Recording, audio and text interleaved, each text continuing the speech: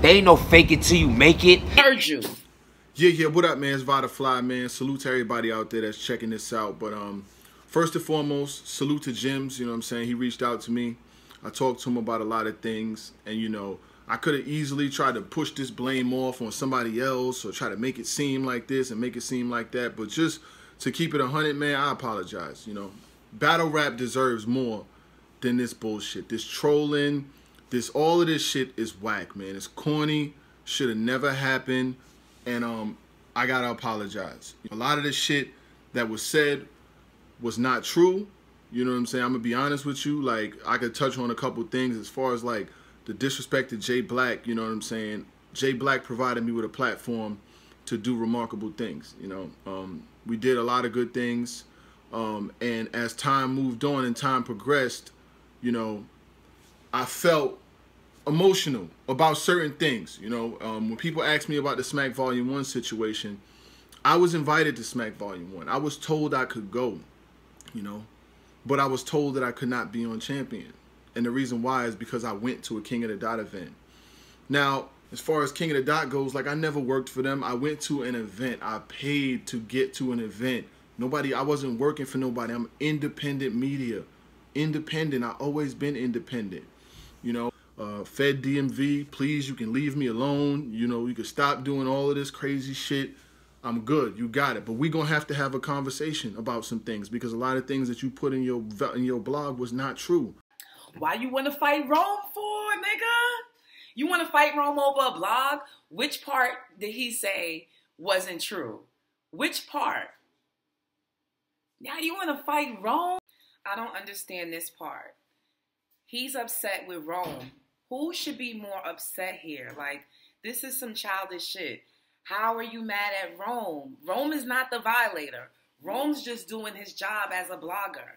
You guys, you've been taking shots for more than a year and you're upset because he caught a body off of you, the only reason why he caught a body is because you made so many mistakes. It was messy, my nigga. Like, it was messy.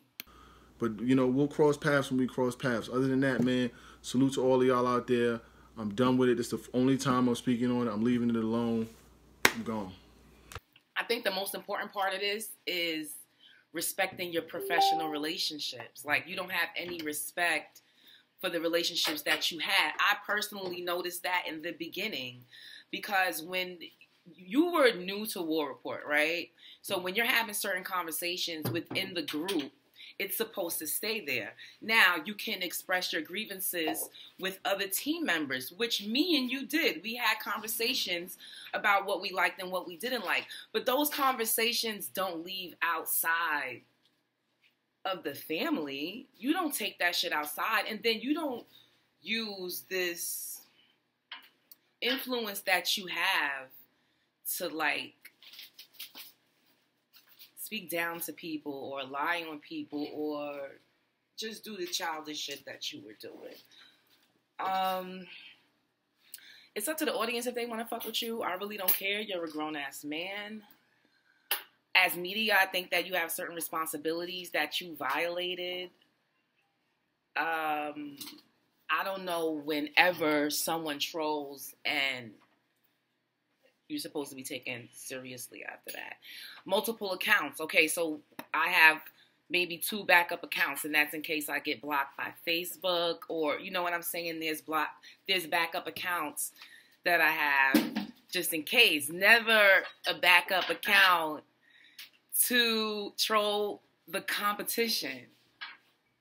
What competition? Like it, you had it all in your hands and you let it go. And I think that is because your character is flawed. I don't think there's any other reason. Like I see that you're blaming URL and you're saying you got in your feelings over URL. So what it sounds like to me is you're saying that once you were only invited to Smack Volume 1 and not invited to be on camera for Champion, you're saying that this character was created, Kenny Lewis.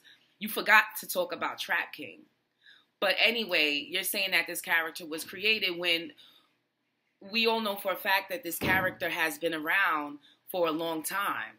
Uh, harassing people like High Society, War Report, and God knows who else. You know what I'm saying? I caught a couple of trolls when we had an argument, but I wasn't putting two and two together at that time.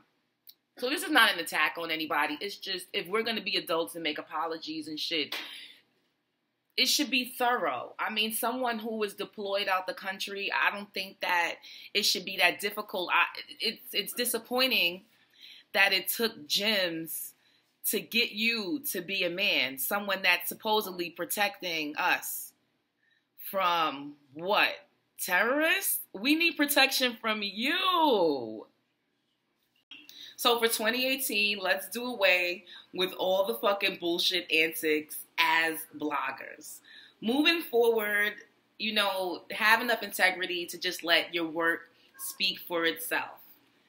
You shouldn't feel like you're threatened by anyone if you're secure with yourself and what you're doing. As long as you're putting the work in, everything should, you know, be fine. So, like, share, subscribe. I'm the Hurricane Du, and goodbye.